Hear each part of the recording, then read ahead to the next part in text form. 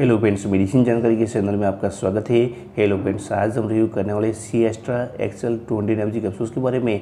C astra XL two hundred M G capsules का क्या है कब इसको यूज़ किया जाता है? कितों दिन को यूज़ करता है? यूज़ करने से क्या बेनिफिट हो सकता है? इसके क्या साइड इफेक्ट्स है? इसके अंदर क्या क्या कंपोजिशन अलग है और किस प्रकार काम करता है? और इसका डोज डोसेंस कितना होना चाहिए? और फंगल इन्फेक्शन के इलाज में दिए जाने कैप्सूल्स इतना यूजफुल क्यों है? और डायबिटिस डॉक्टर इसको क्यों रिकमेंड करते हैं? तो C astra XL two hundred M G capsules के बारे में संपूर्ण जानकारी के लिए वीडियो के अंत तक बन रही चैनल में वीडियो भी पहली बार विज़िट की, या अभी आप नहीं हो तो चैनल को सब्सक्राइब कर दिए बेल को प्रेस करिए ताकि जब भी मैं कोई नया वीडियो अपलोड करूँ, सबसे पहले आपके पास एक नोटिफिकेशन पहुँचे वीडियो स्टार्ट करते एक छोटे से इंट्रो के बाद। This video is only and only for educational purpose subscribe करें मेडिसिन जानकारी को।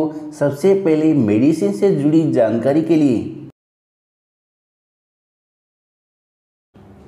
शुरू करते हैं C extra XL two hundred M capsule जो कि हमारे पास सात गोली का कैप्सूल है, जिसकी एमआरपी की बात करें, उसकी एमआरपी टाइम के साथ चेंज होती रहती है।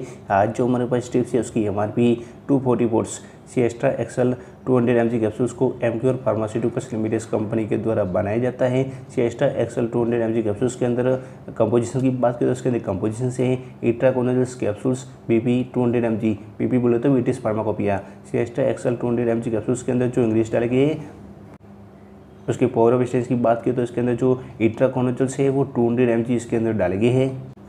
Extra XL two hundred M G capsules का यूज़ के बारे में बात करें तो इसका इस्तेमाल फंगल इन्फेक्शन के इलाज के लिए कैप्सूल्स का इस्तेमाल किया जाता है। इसका इस्तेमाल माउथ वेजेना तवसा और बॉडी के अन्य हिस्सों, जैसे कि अंगुलियों और पैरों के नाखूनों में होने वाली फंगल इन्फेक्शन के इलाज के लिए कैप्सूल्स का इस्तेमाल किया जाता है।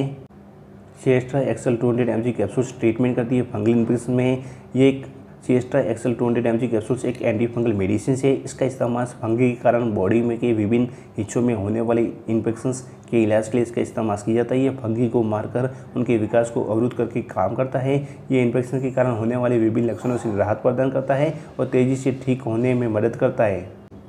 शेस्टा XL two hundred M G capsules का इस्तेमाल अगर आपकी बॉडी की कोई भी पार्ट्स में आपको फंगल इन्फेक्शन हुआ है, या फिर आपको पसीने की वजह से आपके जांघों के नीचे इचिंग्स खोजली या रसेस टाइप या कोई फंगल इन्फेक्शन टाइप हो गया तो उसको ठीक करने के लिए siesta XL two hundred M G capsules का इस्तेमाल किया जाता है।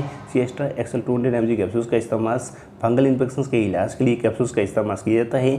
Siesta XL two hundred M G capsules का डोज डोसेंस की बात करें तो इसका डोज डोसेंस पेशेंट्स की एज वेट और कंडीशन के ऊपर डिपेंड करता है कि पेशेंट्स की एज कितनी है वेट कितना है कंडीशन कैसी है तो उसके ऊपर डिपेंड करता है कि इसका डोज डोसेंस कितना होना चाहिए और इसका डोज डोसेंस अपने डर्मेटिस डॉक्टर की दीर्घ में इस्तेमाल करिए। शेस्ट्रा XL two hundred M G capsules के कुछ common side effects side effect में हो सकता है बिजली आना, पेट में दर्द होना कॉन्स्टिपेशन होना, चक्कर आना हेडेक होना अपस होना वॉमिटिंग होना तो कुछ कॉमन साइड इफ़ेक्ट देने को मिल सकते हैं। तो शेस्ट्रा XL two hundred M G capsules का इस्तेमाल अपने डर्मेटिस डॉक्टर की दीर्घ में इस्तेमाल करें सिएस्ट्रा XL two hundred M capsules किस प्रकार काम करता है? यानी कि how to work सीएस्ट्रा XL capsules सीएस्ट्रा XL two hundred M capsules के अंदर जो मेडिसिन रहती है, यानी कि itraconazole two hundred M capsules वो एक एंटी फंगल मेडिसिन है। ये फंगल सेल मेम्ब्रेन को नष्ट करके कवक को खत्म करता है ये आपकी त्वचा के इन्फेक्शन का इलाज करता है। सिएस्ट्रा axle two hundred M G capsules को यूज़ करने के पहले अपने जनरल फिजिशियन फैमिली डॉक्टर या डर्मेटिस्ट डॉक्टर या कॉस्मेटोलॉजिस्ट डॉक्टर से प्रिस्क्राइब करी। बाद में इस कैप्सूल्स का इस्तेमाल करी। अपनी मन से सिएस्ट्रा XL two hundred M G capsules का इस्तेमाल कभी भी नहीं करी। तो सिएस्ट्रा XL two hundred M G capsules के बारे में कुछ भी डाउट कभी कमेंट सेक्शन बताइए। सिएस्ट्रा XL two hundred M G capsules का वीडियो आपको थोड़ा सा यूजफुल हेल्पफुल लगा तो चैनल को सब्सक्राइब कर करिए बेल को प्रेस करिए आज के लिए इतना ही। मिलते हैं नेक्स्ट वीडियो में। तब तक के लिए अपना ख्याल रखिए। Thank you watching for my videos ये वीडियो केवल एजुकेशन पर्पज और नॉलेज के लिए था।